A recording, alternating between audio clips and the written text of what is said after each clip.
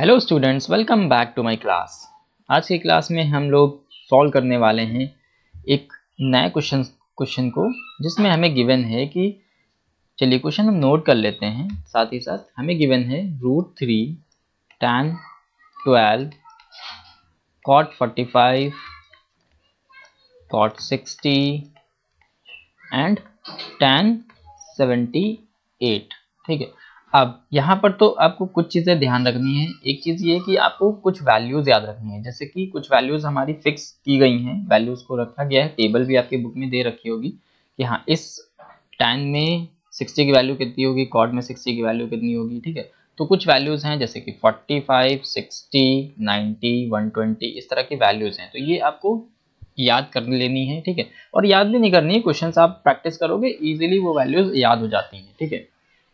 दूसरी चीज़, आपको कन्वर्जन याद हो जाना चाहिए कि टेन 90 माइनस थीटा होता है तो क्या होता है? साइन 90 माइनस थीटा होता है तो क्या होता है? क्योंकि कुछ चीज़ें तो आपको याद रखनी पड़ेंगी, ठीक है?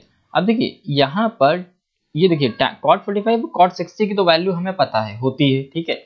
बट टेन ट्वेल्व की वैल्यू और टेन सेवेंटी एट की वैल्यू ये नहीं होती है हमारे पास, ठीक है? तो इसको करने के लिए हमें क्या करना पड़ेगा? उसके लिए हमें कन्वर्जन का यूज़ करना पड़ेगा, ठीक है? और कन्वर्जन के लिए हम क्या करते हैं? वो हमें बताया गया है कि क्या, कौन सा कन्वर्जन कब यूज़ करना है। ठीक है? तो चलिए देखते हैं। अब देखिए टेन ट्वेल्व को हम क्या करते हैं? किसी एक को, जब भी इस तरह के क्वेश्चन दिए हों, और आपको लग रहा हो, देखिए टेन अगर सेवेंटी एट में हम ट्वेल्व ऐड करें तो नाइन नाइनटी हो जाएगा राइट तो हम इस तरह के जब भी क्वेश्चन होंगे, उसमें हम एक को कन्वर्ट करेंगे, दूसरे को कन्वर्ट नहीं करेंगे, ठीक है? अगर हम टेन ट्वेल्व की बात करें तो टेन ट्वेल्व को हम अच्छा लिख सकते हैं ninety minus seventy eight right क्योंकि नाइन्टी माइनस सेवेंटी एट कितना होता है? ट्वेल्व तो टेन ट्वेल्व ही लिखा हुआ ये। जैसे कि अगर हमें फाइव को लिखना है तो हम थ्री प्लस टू भी लिख सकते हैं राइट जहाँ हमें जिसकी ज़रूरत होती है, हम लिख सकते हैं। सिक्स माइनस वन भी लिख सकते हैं फाइव को। ठीक है? उसी तरह से हमने ट्वेल्व को क्या लिख लिया? Ninety minus seventy eight similarly अभी हम इसको फ़िलहाल ऐसे ही रख लेते हैं। Cot forty five and cot sixty ठीक है, एक स्टेप और बढ़ गया है एंड टेन सेवेंटी एट अब चाहे तो आप वैल्यू रख दो। देखिए, अब क्या करेंगे?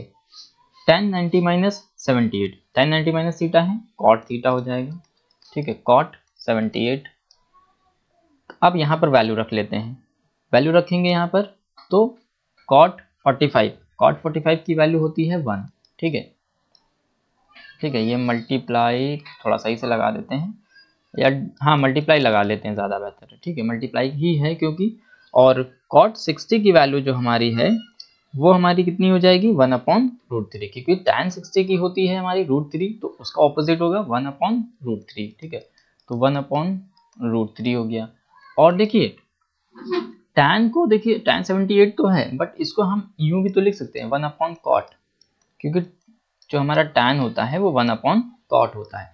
देखिए, इस चैप्टर की बेसिक्स आपको पता होनी चाहिए सारी की सारी। मैं यहाँ पर सिर्फ़ क्वेश्चंस लगवा रहा हूँ, ठीक है? क्वेश्चन सॉल्व करवा रहा हूँ, वो भी बोर्ड एग्ज़ाम्स के, वो भी इंपॉर्टेंट क्वेश्चन बट अगर आपको समझ नहीं आता है इसका कॉन्सेप्ट तो आप मुझे कमेंट कर सकते हैं, बता सकते हैं कि मुझे एक वीडियो ऐसी बना दीजिए जिसमें कि सारे के सारे कॉन्सेप्ट हों और उनकी कुछ कुछ ऐसी ट्रिक्स भी हैं शॉर्टकट ट्रिक्स जिनसे आप इजीली उनको याद कर सकते हो। ठीक है तो अगर वो कमेंट मेरे पास आते हैं देन मैं उसको उस पर एक वीडियो बना दूँगा, ठीक है? बट फ़िलहाल के लिए आपको इन सब चीज़ों को याद रखना है। अब देखिए, यहाँ से क्या हो रहा है? देखिए, ये डिवाइड में हो गया तो cot seventy eight cot seventy eight क्या हो जाएँगे? कैंसिल आउट रूट थ्री से root three cancel out one one one, हर जगह वन बचा, वन को वन से मल्टीप्लाई करोगे, वन ही आ जाएगा, ठीक है? तो हमारा फाइनल आंसर आ गया वन, और हमसे यही वैल्यू पूछी थी फाइंड द वैल्यू ऑफ़ तो वैल्यू हमारी वन आ गई तो ये क्वेश्चन सॉल्व हो गया, ठीक है? तो आई होप आपको समझ आ गया होगा। तो इस वीडियो में फ़िलहाल इतना ही, हम आपसे फिर मिलते हैं नेक्स्ट वीडियो में, तब तक के लिए गुड बाय